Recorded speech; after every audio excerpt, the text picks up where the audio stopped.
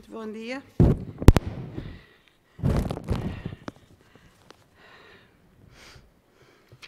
Começo por cumprimentar o Sr. Reitor,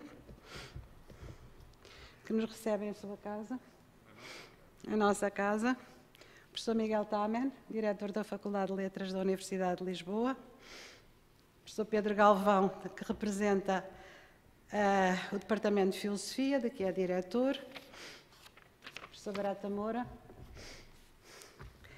e quero saudar todos os convidados, em número muito restrito, mas que são todos representantes significantes do universo de amigos do professor Barata Moura e também saudar todos os muitos que tenho a certeza que nos estão a seguir por via eletrónica eh, nesta simples mas sincera cerimónia.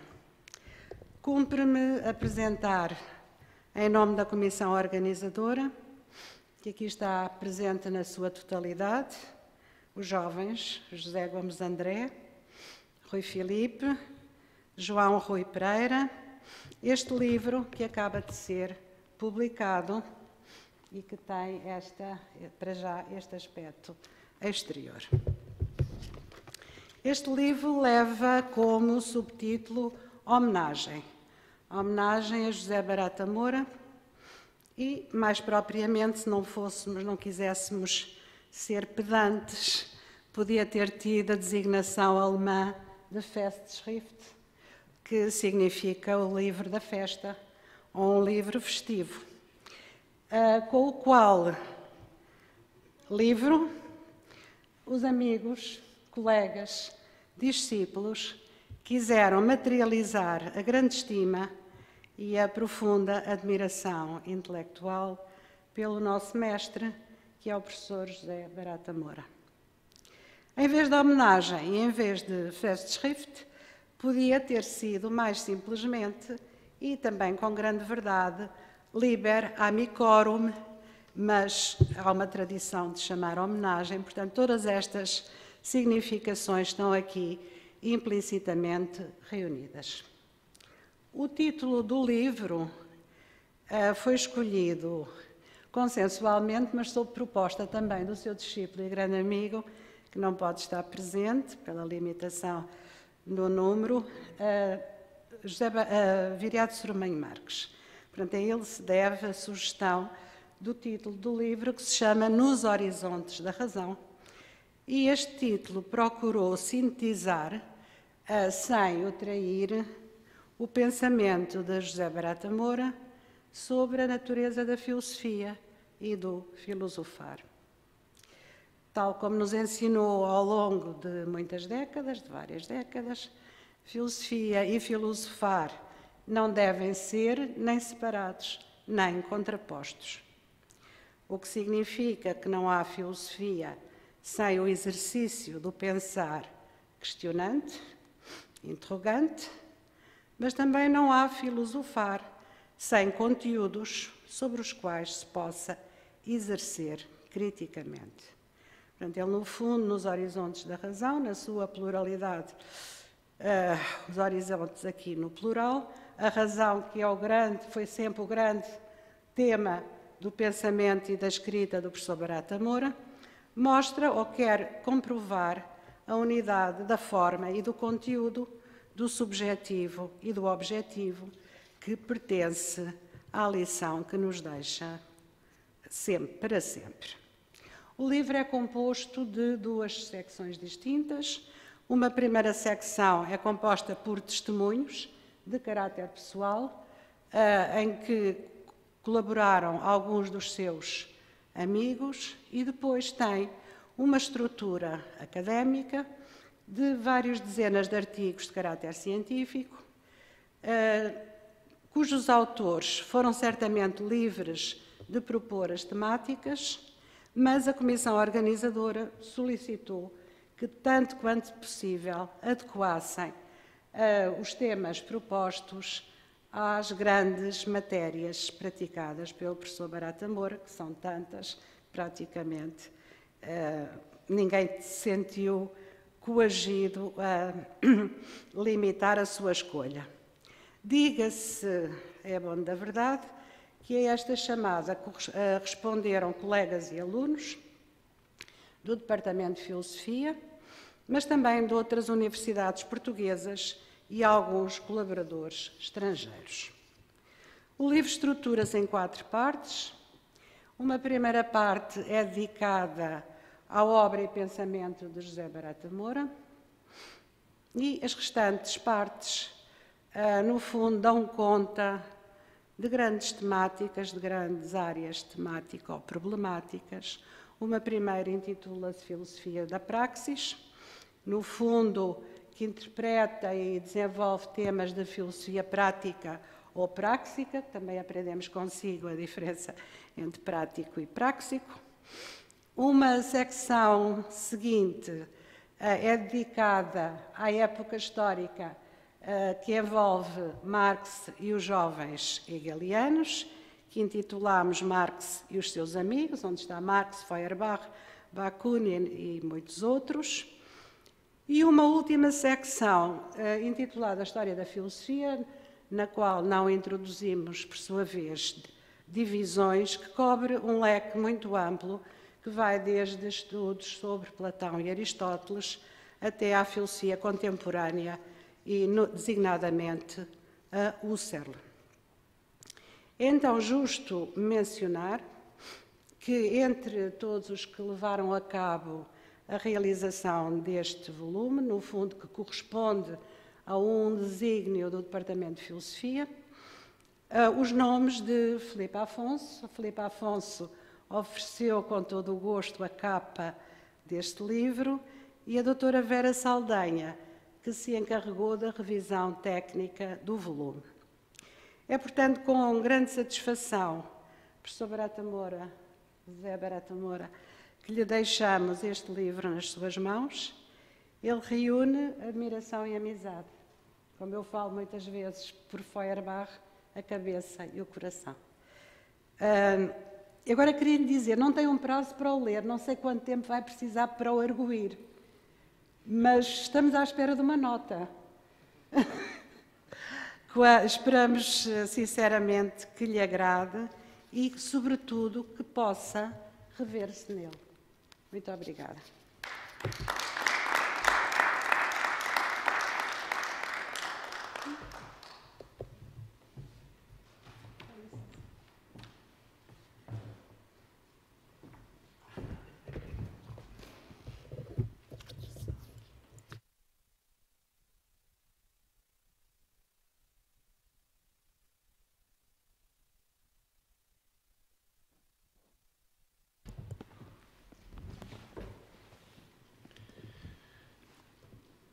Senhor Reitor, meu caro António, Sr. Professor Barata Moura, meu caro Zé, Sr. Professora Adriana Serrão, minha cara Adriana, uh, minhas senhoras e meus senhores, uh, é com muito gosto que estou aqui e, uh, e estou aqui numa, numa, numa, perspectiva simplesmente de registro telegráfico da enorme satisfação que ocasiões como estas nos dão e dão à, à faculdade.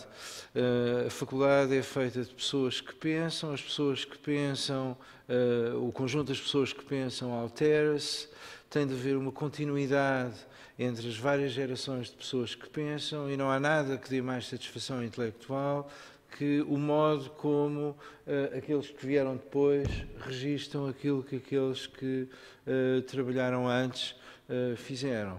Esta cerimónia é simplesmente o testemunho dessa continuidade e, portanto, daí a razão da minha satisfação. Meu caro Zé, muitos parabéns, a faculdade está muito contente. Muito obrigado.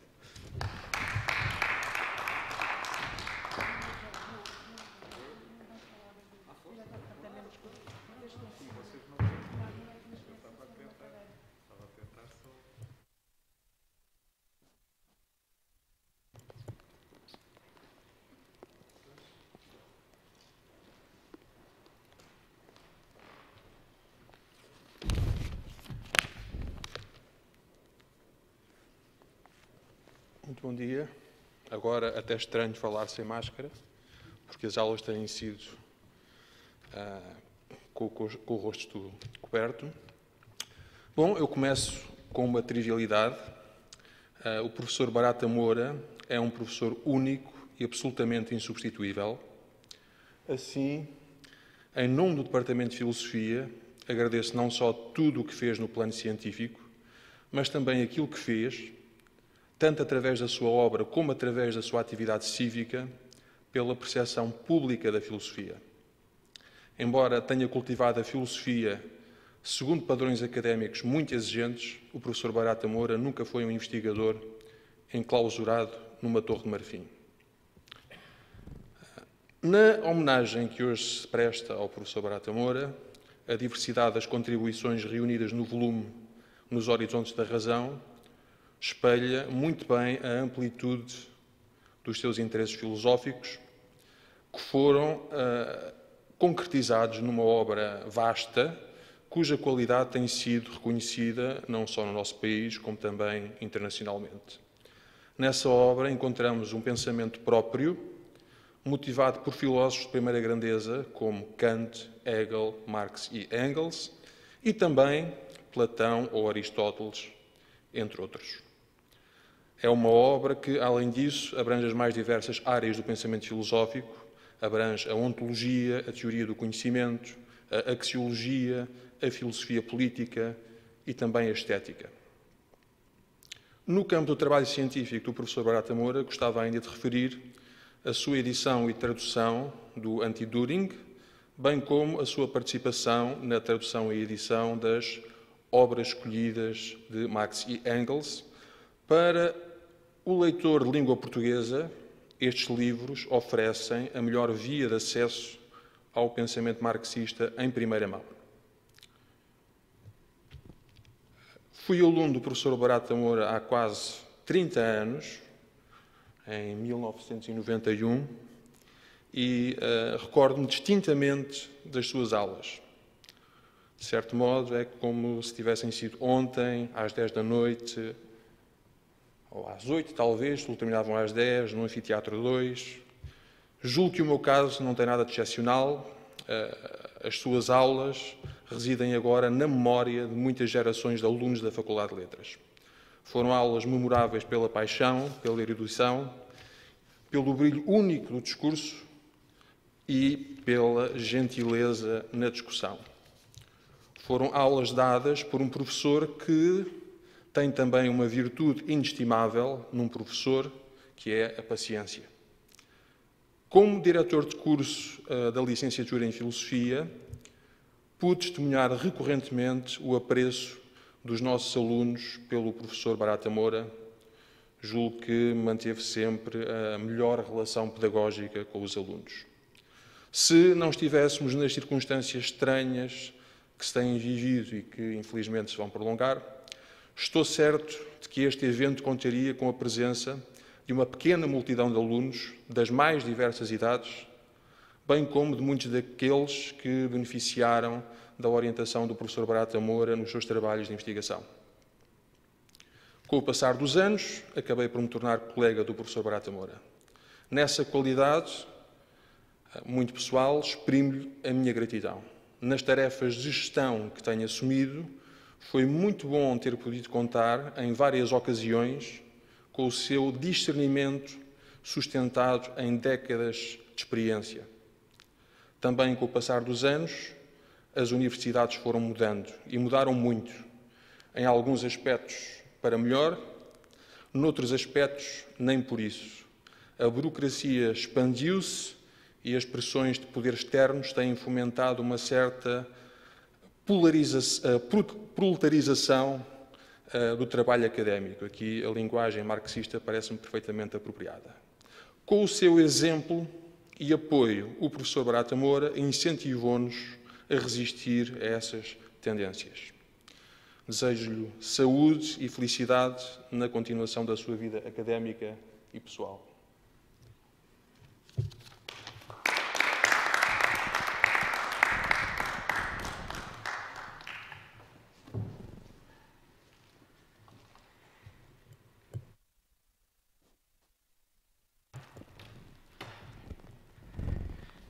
Magnífico reitor, para não nomear cada um dos que aqui estão, refiro emblematicamente meu querido Pato Cerqueira, mestre, exemplo, cúmplice, companheiro de muitas lutas, esperamos nós, em prol da filosofia. É, o confinamento da pandemia devia restringir-nos o pandemónio das palavras. Por isso, eu agradeço a todos os que me fazem o favor de me manter na lembrança e de me brindar com a sua amizade. Transporto-os a todos no coração. Vivem comigo. Quer nós falemos, quer não falemos. Eu sou um tipo esquisito e é assim que funciona. Bem-ajam. Enfim, é, é, é, é uma usança dos institucionalmente mortos imaginarem que continuam a mandar-nos vivos. E, portanto, como é sabido, eh, eu não queria que se perdesse tempo e gastassem energias com manifestações desta índole. Obrigaram-me, por isso, a um exercício de humildade, nos quais eu não sou pródigo, e aqui estou, com uma gratidão uh, incomensurável, porque perdura, não apenas pelo objeto uh, que me quiseram dedicar, ou uh, que a propósito da, da, minha pessoa, ou se calhar melhor, do meu magistério, quiseram desenvolver, exercitando e materializando as suas próprias capacidades eh, digamos, produtivas. E isso, para mim, é talvez o aspecto mais importante do que haver aí uma referência no título ao José Barata Moura. Poder ter sido ocasião de que, efetivamente, uma produção filosófica em português ou de portugueses eh, encontrasse um espaço mais de divulgação. Levo deste evento uma lição. É, a que tenho que continuar a trabalhar para merecer esta homenagem. Muito obrigado.